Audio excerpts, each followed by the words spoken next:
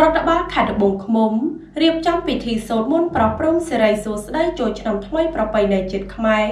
ព្រមទាំងសម្ដែងសម្ដាលចែកបានប្រេងសាំងនិងថាវិការលើកទឹកចិត្តដល់មន្ត្រីរាជការចំណុះសាលាខេត្ត រដ្ឋបាលខេត្តត្បូងឃ្មុំនៅថ្ងៃទី8ខែមេសាឆ្នាំ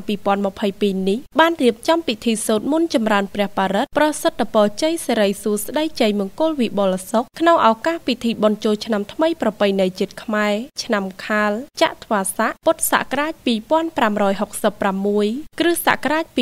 2022ដែលនឹងឈានមកដល់នាពេលឆាប់ៗខាងមុខនេះពិធីសូត្រមន្តនេះបានប្រព្រឹត្តធ្វើឡើងក្រោមអធិបតីភាពអាយុដំបណ្ឌិតជាមច័ន្ទសោភ័ណ្ឌអភិបាលនៃគណៈអភិបាលខេត្តត្បូងឃ្មុំ និងលោកជំទាវមេងវណ្ណដានីនជាមច័ន្ទសោភ័ណ្ឌនិងអាយុដំសៀកលេងប្រធានក្រុមប្រឹក្សាខេត្តនៅសាលប្រជុំកោសាលាខេត្តត្បូងឃ្មុំ ពិធីនេះក៏មានការអញ្ជើញចូលរួមពីសំណាក់អាយុដំ លោកជំទាវសមាជិកក្រុមប្រឹក្សាខេត្តអភិបាលរងខេត្តលោកលោកស្រីនាយកនាយករងរដ្ឋបាលសាលាខេត្តនាយកនាយករងទីចាត់ការ ប្រធាន អនុប្រធានមន្ទីរអង្គភាពជុំវិញខេត្តនិងមន្ត្រីរាជការសាលាខេត្តក្នុងពិធីនេះក៏មានការនិមន្តព្រះសង្ឃសូត្រធម៌ប្រោះព្រំសពសាធុការពរ សិរីសួស្តីជ័យមង្គលវិបុលសុខបវរមហាប្រសើរជូនចំពោះថ្នាក់ដឹកនាំខេត្តនិងមន្ត្រីរាជការក្រមអាវ៉ាតរដ្ឋបាលខេត្តទាំងអស់ចូលកើតមានដល់អ្នកឲ្យបានគ្រប់គ្រប់គ្នានិងសូមឲ្យទេវតាឆ្នាំថ្មីតាមជួយបីបាច់ថែរក្សាឲ្យបានសេចក្តីសុខសប្បាយគ្រប់ទីកន្លែង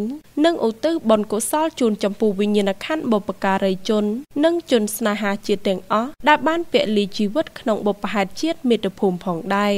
បន្ទាប់មកអាយុដំបណ្ឌិតជាមច័ន្ទសោភ័ណ្ឌនិងលោកជំទាវមេងវណ្ណដានីនក៏បានអញ្ជើញជួបសំណេះសំណាលសួរសុខទុក្ខព្រមទាំងចែកបានប្រេងសាំងនិងថវិកាមួយចំនួនដល់ថ្នាក់ដឹកនាំនិងសមាជិកក្រុមប្រឹក្សាខេត្តក៏ដូចជាថ្នាក់ដឹកនាំនិងមន្ត្រីរាជការទាំងអស់ចំណុះឲ្យសាលាខេត្តត្បូងឃ្មុំជាការលើកទឹកចិត្តក្នុងការខិតខំបំពេញការងារកន្លងមកផងដែរ មានប្រសាសន៍នៃឱកាសនោះអាយុដំបណ្ឌិតជាមច័ន្ទសោភ័ណ្ឌអភិបាលខេត្តក៏បានសម្ដែងនៅការវិតម្លៃខ្ពស់និងកោតសរសើរជូនចំពោះថ្នាក់ដឹកនាំមន្ត្រីរាជការនៃរដ្ឋបាលខេត្តត្បូងឃ្មុំ ដែលបានចូលរួមសហការអនុវត្តយ៉ាងខ្ជាប់ខ្ជួនតាមទូនីតិភារកិច្ចរៀងរៀងខ្លួនក្នុងការអនុវត្តនៅកម្មវិធីនយោបាយនិងយុទ្ធសាស្ត្រចតុកោណដំណាក់កាលទី3របស់រាជរដ្ឋាភិបាល ដើម្បីកំណើនសមធម៌និងប្រសិទ្ធភាពការងារដោយបានចូលរួមថែរក្សាបានសន្តិសុខសុវត្ថិភាព ស្ថិរភាពនយោបាយនិងសន្តិសុខសណ្ដាប់ធ្នាប់សង្គមនាពេលកន្លងទៅ អាយុដំបណ្ឌិតអភិបាលខេត្តបានមានប្រសាសន៍សង្កត់ធ្ងន់ថា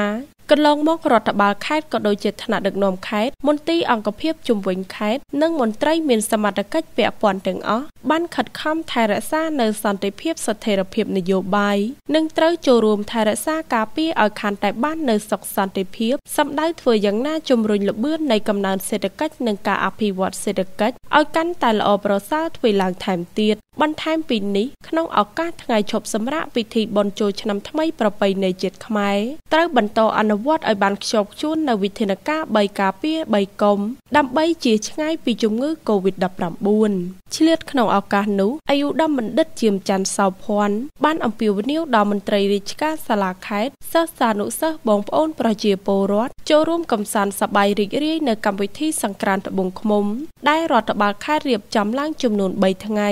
គឺថ្ងៃទី14ថ្ងៃទី15និងថ្ងៃទី16ខែមេសាឆ្នាំ2022ក្នុងនោះមានចំនួន2ទីតាំងដោយទី1នៅបរិវេណវត្តព្រៃនគរក្នុងលួងព្រះស្ដេចកនមានការលេងល្បែងប្រជាប្រិយចម្រុះការរាំលេងកំសាន្តនិងកម្មវិធីជាច្រើនទៀតនិងទីតាំងទី2នៅមាត់ទន្លេសពនិមិត្តទីរួមខេត្តត្បូងឃ្មុំដែលមានការតាំងពិព័រណ៍និងការប្រគំតន្ត្រីផងដែរ